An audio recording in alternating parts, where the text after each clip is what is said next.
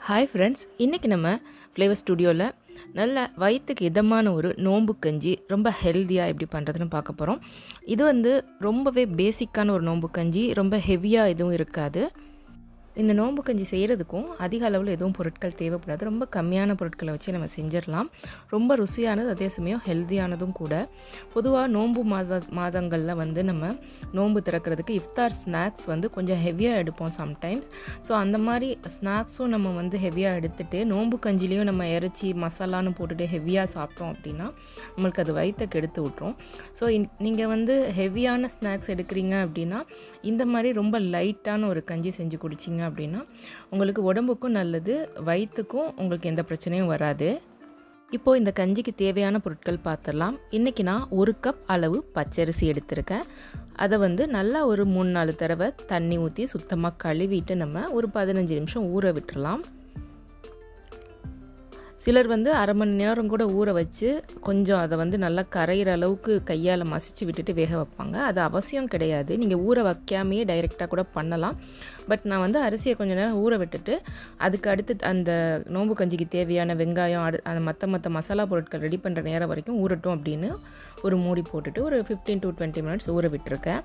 இப்போது இந்த நோம்பு கஞ்சிக்கு தேவையான பொருட்கள் என்னென்ன அப்படிங்கிறத நான் காட்டிடுறேன். ஒரு பத்து பன்னெண்டு சின்ன வெங்காயம் உரித்து எடுத்துக்கலாம். சின்ன வெங்காயம் இல்லை அப்படின்னா நீங்கள் ஒரு மீடியம் சைஸ் பல்லாரி வெங்காயம் சேர்த்துக்கோங்க. பட் சின்ன வெங்காயம் சேர்க்கும்போது நல்ல ஒரு ஃப்ளேவர் கிடைக்கும். இப்போ ஒரு ஒரு ஒன்றரை இன்ச் அளவில் இஞ்சி தோல் நீக்கிட்டு நான் எடுத்து வச்சுருக்கேன். இந்த சைஸ் இருந்தால் போதும். நீங்கள் அரிசி கூட சேர்க்குறீங்க அப்படின்னா அதுக்கு தகுந்த மாதிரி நான் காட்டுற பொருட்களோட அளவை மாற்றிக்கோங்க இப்போ இதில் நல்ல பெரிய சைஸ் பல்லு பூண்டு ஒரு ஏழு எட்டு எடுத்து நல்லா அதை நடுவில் மட்டும் கட் பண்ணிவிட்டு தோலை ரிமூவ் பண்ணிவிட்டு எடுத்து வச்சுருக்கேன். ரொம்ப சின்னதாலாம் கட் பண்ண வேண்டாம். இப்போது மூணு காஞ்ச மிளகாய் எடுத்திருக்கேன். அதை வந்து காம்பை நீக்கிட்டு விதையெல்லாம் எடுத்துட்டு நான் சேர்த்துக்க போகிறேன் காரமாக வேணாம் அப்படின்னு நினச்சிங்கன்னா நீங்கள் ஜஸ்ட் ஒரே ஒரு மிளகாய் மட்டும் வாசத்துக்காக சேர்த்துக்கோங்க. இது வந்து அதிக அளவு காரமும் கொடுக்காது ரொம்ப கம்மியாக தான் சேர்க்குறோம். அப்புறம் கூடவே நான் வந்து ரெண்டு பச்சை மிளகாய் சேர்த்துக்கிறேன். இங்கே உள்ள பச்சை மிளகாய் பார்த்தீங்கன்னா காரம் அறவே இருக்காது. நான் வந்து ஜஸ்ட் வாசத்துக்காக மட்டும்தான் சேர்க்குறேன். இங்கே உங்களோ நீங்கள் இருக்கிற கண்ட்ரியில் கிடைக்கிற மிளகாயோட தன்மை பொறுத்து காரத்துக்கு தகுந்த மாதிரி அட்ஜஸ்ட் பண்ணிக்கோங்க. அப்புறம் ஒரு கொஞ்சமாக ஒரு ரெண்டு கொத்து கருவேப்பிலை காம்பெல்லாம் எடுத்துகிட்டு நல்லா கழுவி எடுத்து வச்சுருக்கேன். அடுத்ததாக ஒரு ஒன்றரை டீஸ்பூன்லேருந்து ரெண்டு டீஸ்பூன் அளவு வர வெந்தயம் நம்ம சேர்த்துக்கலாம். அதிகமாக சேர்த்திங்கன்னா நோம்பு கஞ்சி கசக்கும். இந்த அளவு சேர்த்திங்கன்னா கரெக்டாக இருக்கும். நம்ம ஃபாஸ்டிங் எடுக்கும்போது பொதுவாக வந்து உடம்பு ஹீட் ஆகும்னு சொல்லுவாங்க. அதுக்காக தான் நம்ம வெந்தயம் சேர்க்கும்போது சாப்பாட்டில் அது உடம்புக்கு குளிர்ச்சி தரும். இப்போ நல்லா பழுத்த தக்காளி ஒரு நல்ல ஒரு மீடியம் சைஸ் அதுவும் நான் எடுத்துக்கிறேன். அடுத்ததாக கால் கப் அளவு நான் தேங்காய் பால் சேர்த்துக்கிறேன். தேங்காய் பால் வந்து நான் பேக்கிங்கில் வர தேங்காய் பால் யூஸ் பண்ணுறதுனால ரொம்ப கம்மியாக யூஸ் பண்ணுறேன் இது ரொம்ப திக்காக இருக்கும்.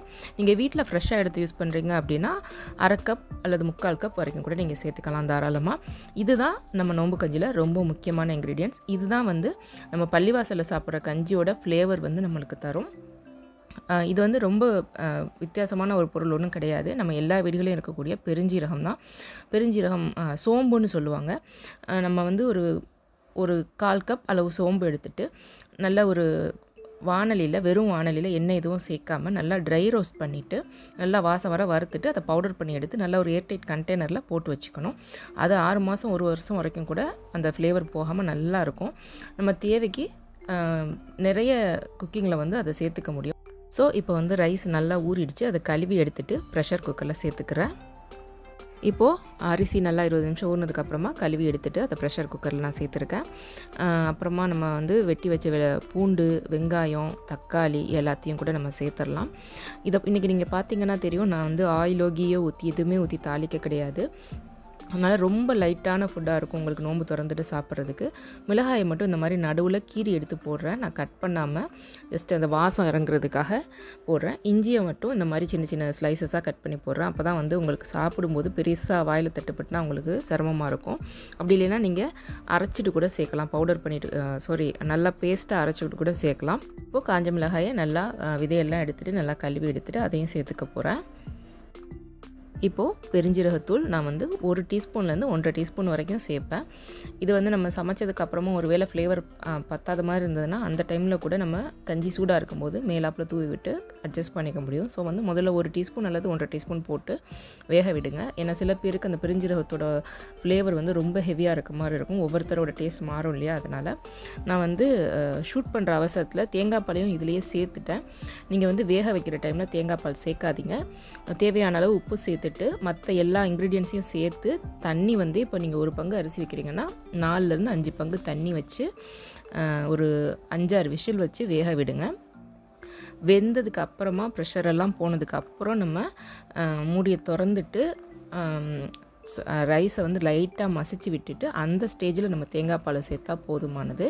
நான் வந்து ஷூட் பண்ணும்போது எல்லா பொருட்களும் ரெடியாக எடுத்து வச்சுருப்பேன்ல உங்களுக்கு முதல்ல காட்டுறதுக்காக. ஸோ அந்த அதே யாபகத்தில் நான் வந்து எடுத்து குக்கரில் போட்டுட்டேன். ஸோ நீங்கள் இந்த மாதிரி எண்ணெய் குக்கரில் வந்து தேங்காய் பால் சேர்க்காமல் முதல்ல கஞ்சியை மட்டும் வேக வச்சு எடுத்துக்கோங்க. சிலர் வந்து ரொம்ப நல்லா மைய கரையை விட்டு கஞ்சி காய்ச்சுவாங்க. ஒரு சிலர் வந்து கொஞ்சம் குலையாமல் இருக்க மாதிரி ஆக்குவாங்க. ஸோ உங்களோட ப்ரிஃபரன்ஸ் எப்படியோ அந்த மாதிரி நீங்கள் ரெடி பண்ணிக்கலாம். நான் பார்த்தீங்கன்னா இந்த மாதிரி ஒரு முக்கால் அளவு தான் குலைய விடுவேன். ரொம்ப கரையிற அளவுக்கு நான் வேக விட மாட்டேன். கஞ்சி வெந்ததுக்கப்புறமா ப்ரெஷரெல்லாம் போனதுக்கப்புறம் நம்ம மூடியை திறந்துட்டு ஒரு கரண்டியால் நம்ம மசிச்சு விட்டோனாலே நம்மளுக்கு தேவையான கன்சிஸ்டன்சி கிடச்சிரும்.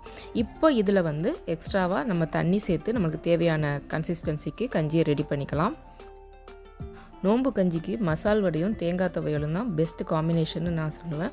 நம்ம சேனலில் ஆல்ரெடி மசாலோட ரெசிபி ரெண்டு வெரைட்டி போட்டிருக்கேன். அதோட லிங்க் வந்து உங்களுக்கு டிஸ்கிரிப்ஷனில் தர்றேன். கண்டிப்பாக நீங்கள் இந்த நோம்பு கஞ்சியோட அந்த வடையும் ட்ரை பண்ணி பார்த்துட்டு உங்களுக்கு பிடிச்சிருந்ததா அப்படிங்கிற ஃபீட்பேக்கை மறக்காமல் கமெண்ட் செக்ஷனில் கூட ஷேர் பண்ணுங்கள் நோம்பு கஞ்சிலேயே பல வெரைட்டி இருக்குது ஒவ்வொரு ஊரில் ஒவ்வொரு மாதிரி பண்ணுவாங்க. ஒவ்வொரு ஃபேமிலிஸில் ஒவ்வொரு மாதிரி பண்ணுவாங்க. ஸோ எனக்கு தெரிஞ்ச எல்லா ரெசிபீஸும் முடிஞ்ச வரைக்கும் நான் இந்த நோம்பு டைமில் உங்களுக்காக நான் அப்லோட் பண்ண ட்ரை பண்ணுறேன் உங்களோட கமெண்ட்ஸ் உங்களோட மெயில் அப்புறம் ஃபேஸ்புக்கில் நீங்கள் அனுப்புகிற மெசேஜஸ்க்கெலாம் என்னால் இப்போ வந்து சரியாக வந்து டைமுக்கு ரெஸ்பான்ஸ் பண்ண முடியலை. அதுக்கு சாரி கேட்டுக்கிறவங்க எல்லாருக்கிட்டேயும் கொஞ்சம் பிஸியாக இருக்கேன். கண்டிப்பாக டைம் கிடைக்கும்போது உங்கள் எல்லாரோட மெசேஜுக்கும் நான் ரிப்ளை பண்ணுறேன் உங்கள் எல்லாரோட அன்புக்கும் ஆதரவுக்கும் ரொம்ப ரொம்ப நன்றி. சீக்கிரமே உங்களை இன்னொரு ஈஸியான டேஸ்டியான ரெசிபியோட சந்திக்கிறேன்.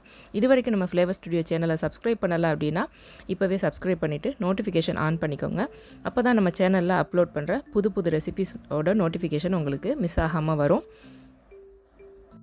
தேங்க்ஸ் ஃபார் வாட்சிங்